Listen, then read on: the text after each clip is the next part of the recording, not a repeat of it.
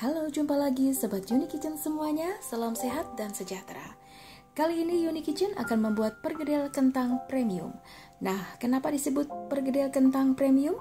Sebab selain menggunakan daun bawang, juga ada tambahan suiran ayam dan corned beef. Di sini Uni Kitchen akan memberikan tips bagaimana membuat pergedel kentang yang tidak pecah ataupun hancur, tapi rasanya sangat enak sekali. Jadi, langsung saja disimak videonya sampai selesai. Terima kasih. Kali ini akan digunakan tiga buah kentang ukuran sedang, dikupas kulitnya, lalu dicuci bersih, dan dipotong beberapa bagian, dan digoreng dengan menggunakan api sedang cenderung kecil hingga empuk.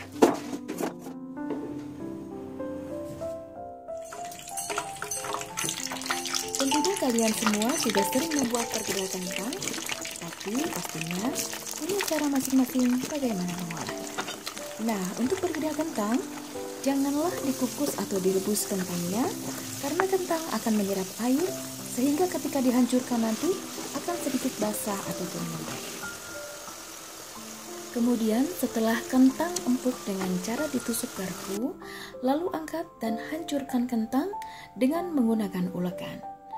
Ada sebagian cara kentangnya di blender, tips dari Uni Kitchen sebaiknya ditumbuk sedikit kasar sehingga masih terasa teksturnya. Selanjutnya, untuk bahan ulek wajib yang digunakan adalah bawang merah, bawang putih, dan pala. Karena jumlah kentang yang digunakan hanya tiga buah, maka bumbunya pun tidak perlu terlalu banyak. Kemudian inilah bahan-bahan tambahan lainnya yaitu corned beef. Kalian bisa menggunakan corned jenis apa pun.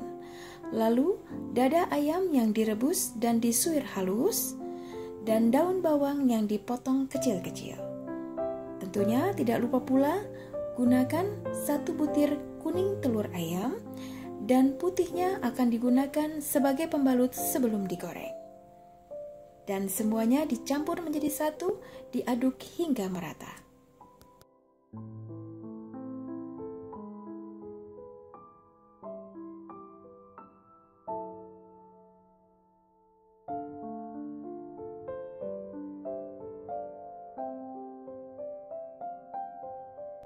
Dan inilah yang akan menambah pergedel kentang jadi sangat nikmat, yaitu penyedap kaldu bubuk ayam, MSG, gula, dan lada. Ada sebagian membuat perkedel kentang hanya menggunakan garam dan bubuk bawang putih sebagai bumbunya. Tapi semuanya itu tergantung selera. Namun resep Uni Kitchen selalu memberikan bumbu yang lengkap setiap memasak agar rasanya benar-benar nikmat. Intinya, jika hasil masakan kalian enak, jangan pelit bumbu. Nah, jangan lupa koreksi rasa jika kalian suka asin, bisa ditambahkan sedikit garam. Selanjutnya, untuk membentuk adonan, olesi sedikit tangan dengan minyak. Nah, seperti biasa, saya tidak pernah menggunakan sarung tangan. Yang penting sudah dicuci bersih. Bagi saya, memasak tanpa menggunakan sarung tangan memberikan sensasi yang menyenangkan.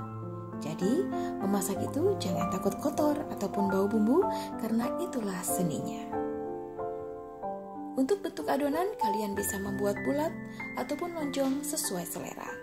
Lakukan semuanya hingga selesai. Nah, seperti inilah hasilnya setelah dibentuk. Untuk tiga buah kentang menghasilkan 9 buah pergedel dengan ukuran sedang. Selanjutnya, siap untuk digoreng. Tapi jangan lupa sebelumnya balut adonan dengan putih telur. Fungsinya selain hasilnya akan mengkilat cantik, putih telur akan mengikat adonan agar tidak mudah hancur. Siapkan minyak yang cukup untuk menggoreng dengan menggunakan api sedang cenderung kecil. Goreng perkedel hanya dengan membalik satu kali agar tidak menyerap minyak.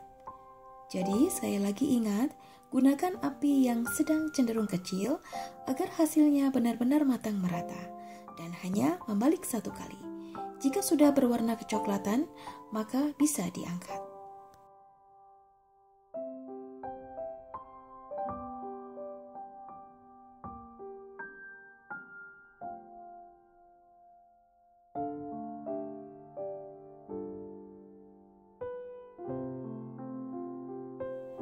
Nah, inilah hasilnya perkedel kentang premium ala Kitchen. Hasilnya cantik sempurna, tidak hancur ataupun pecah. Harumnya sedap banget karena campuran dari telur, ayam suwir, dan kornetnya.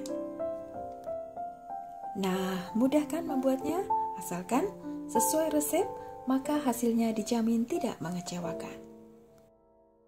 Dan tidak pernah lupa saya selalu ucapkan terima kasih banyak bagi kalian yang sudah mensupport channel Uni Kitchen dan selalu setia menyimak videonya hingga selesai. Semoga resep-resep Uni Kitchen sangat bermanfaat. Sampai jumpa pada video-video menarik selanjutnya. Nah, sekarang saya akan coba ya. Ini baunya harum sekali dan teksturnya benar-benar masih padat tapi lembut. Rasa ayam dan kornetnya bikin tambah gurih dan juga sedikit asin. Pokoknya enak banget.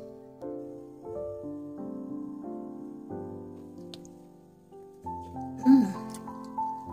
Nah, pasti kalian ngiler kan lihatnya. Jadi, langsung dicoba saja resepnya ya. Hmm,